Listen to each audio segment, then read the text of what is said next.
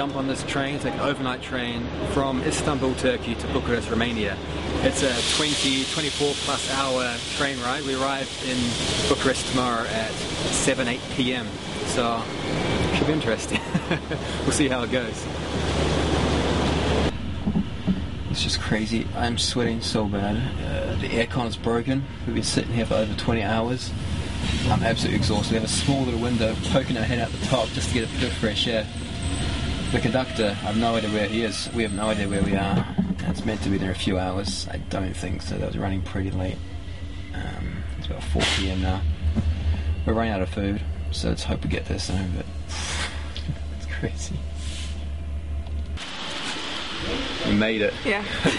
We're in Romania. Uh, crazy last few days from Istanbul here. The train travel was um, a pretty interesting experience. Yeah, I think we traveled about 30 hours on train out of like 37.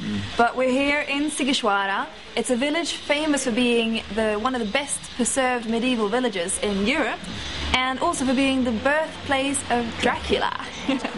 so we're gonna start the morning by walking along the street and making our way to the citadel. It's so cute here, Adam. Yeah, it's gorgeous.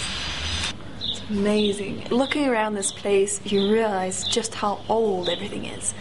It's so well kept and it's so pretty. It's listed as a UNESCO World Heritage Site, and people still actually live here. It's pretty cool. We've just walked through into the citadel, and in the main entrance is this 60 metre clock tower which welcomes you. It's a really detailed, artistic looking clock tower. It stands in the city as a symbol for justice. The citadel is located on top of a hill which overlooks the new town and gives you a great view over the city and the mountains. I'm standing by the covered staircase. It's a really old staircase dating back to 1642. It's covered the whole way up, and there are 175 steps, so it's pretty high up, but there used to be 300 steps, so I can't complain. 135. It's dark in here. Really dark. 138. 39. 40. 75. 175 steps. We made it! That's a good workout. This is the birthplace of Vlad Dracula. I'm sure you've heard the novel Dracula. Uh, It wasn't a true story, but it was based on the prince who lived here. He's a bloodthirsty prince who had over 100,000 people killed. Yeah. Dracula also means son of the devil.